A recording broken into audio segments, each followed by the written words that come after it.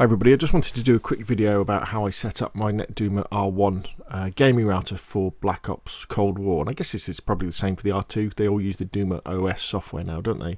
Um, now obviously what you want to do is you want to go through and follow the follow all the instructions that come with your with your router and get get it set up so your internet's working first um, for you know all the wireless devices and your wired devices. Um, and you know it probably should go without saying that you should have your PlayStation or, or your Xbox or your PC even plugged directly into your router to maximize uh, the or minimize the, uh, the, the lag that is happening. Um, um, and then I guess the two.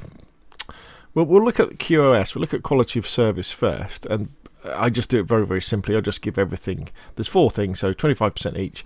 For some reason, it, I've got two Rob's PCs here, two laptops, but I think one is the wireless connection and one is the wired connection. But I just give them all equal, um, and then what happens is the the software gives uh, excess bandwidth to to the particular device. So, for example, the PlayStation or the Xbox. But where the real magic happens, where you should really uh, concentrate your your your thoughts is in the geo filter. So the geo filter is basically this is why you get a NetDuma um, gaming router. And what the net, what the geo filter, filter does is that it prevents you from connecting to a game that is too far away, where you'll have too much lag. So, for example, I'm here in the UK, um, so the NetDuma router will stop, will prevent me from connecting to, say, a game down in, in Italy where there would be lots of lag, I, my bullets wouldn't hit, and I would generally have a bad experience. And you'll know probably that the way that they kind of recommend you set it up is you set your home location and then you set your distance, like something like this. And what we'll then do is the game will, the, the router will only let Black Ops connect me somewhere within here. However, I don't think that's the best way of doing it. The best way of doing it, I think, and and this goes for whether you're in Europe or North America or anywhere in the world. What you do is you take your home icon and you dump it in the middle of the Atlantic, like that, and you you set the distance down to the minimum amount. And you think, well, wait a minute, is there, is there like an oil rig out here or something you're going to connect to? No, because what we do is we open up the options here.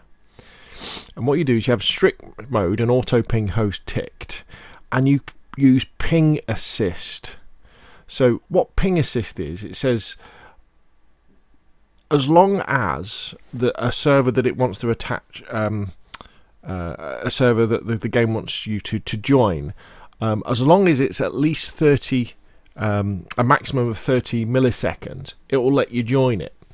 So what that means is that it will let me join a server anywhere in the world as long as the ping is 30 milliseconds or less which is which is pretty good. You know, if you can get a server, you know, ping of um, uh, of 30 milliseconds or less, generally you'll have a you'll have a good experience in in Call of Duty or or any game. To be honest, any online multiplayer player game, and I have found this is definitely the best way for me to play. Uh, Black Ops Cold War. Now, when you when you do this, what will happen is you'll probably get kicked from a few lobbies in fact, it might take you a couple of goes to actually join a lobby because the game will keep trying to put you into lobbies and the ping will be too long and the router will kick you out of that lobby and you'll keep losing connection. But eventually you will get into a game and you'll probably be the you'll be the host anyway. You'll start to be the host for these games.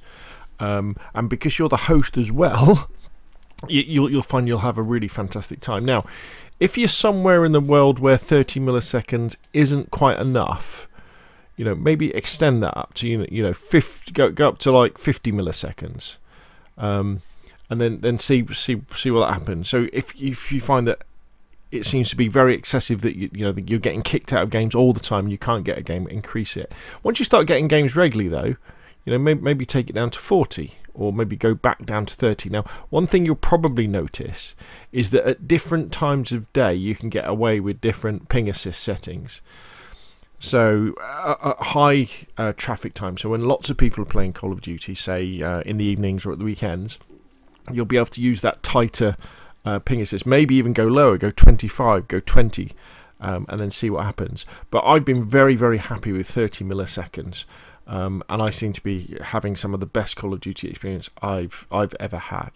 So there we go. So that's how I use the geo filter. I don't actually use the the the distance. We're just using ping assist to say, look, any any game that is 30 milliseconds or less, let me into it no matter where it is in the world because obviously it isn't going to be i'm not going to be joining a south american server because there's no way there's going to be a ping of 30 milliseconds or less so there we go. That's how I set up my NetDuma R1 gaming router with Duma OS for uh, Call of Duty Black Ops Cold War. Hopefully you find that useful.